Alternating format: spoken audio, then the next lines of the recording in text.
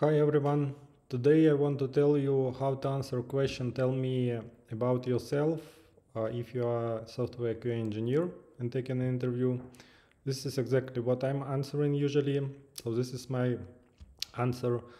I have master's degree in computer science and 12 years of experience in software test automation.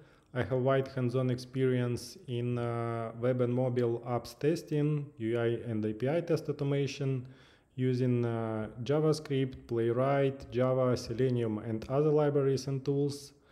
I am able to dig into existing test automation solutions as well as to build one from scratch if needed.